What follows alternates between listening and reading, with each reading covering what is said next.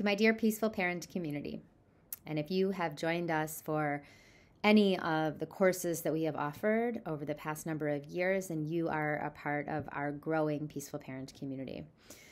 Back in 2019, when we launched the Peaceful Parent Project, we had huge aspirations of impacting many Jewish parents around the country. And I am so gratified to say that we have, to this point, over the past four years, reached and nourished um, hundreds of parents who are parenting in Jewish families around the country and in Canada.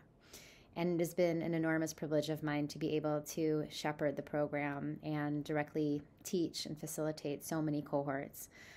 This year, we brought on a new team member, Amanda Murov, who is in charge of growing and expanding the reach and the impact of the program. And there are so many ways in which we are poised to grow the program in really exciting directions.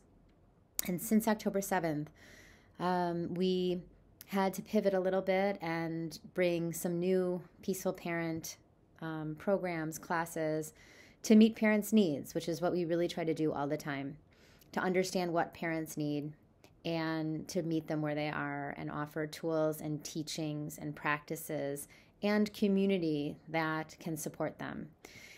As a parent myself, I have found the program always continually nourishing for me, and it has served to remind me of how I want to parent and the parent I want to be.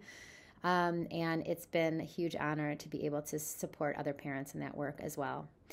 And I want to turn to you, my parent community, and ask for your support this year as we get ready to wrap up 2023 and prepare to launch into 2024 with many big plans of expansion of the work.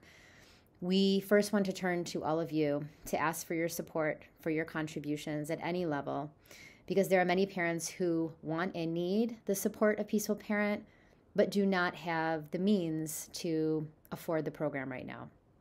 And so I'm asking all of you if you have the capacity to make a contribution and to gift the Peaceful Parent program to other parents. Um, it would be a wonderful thing to do and a huge blessing. So, um, thank you for your support, for your presence, for your participation. And um, I'm very grateful.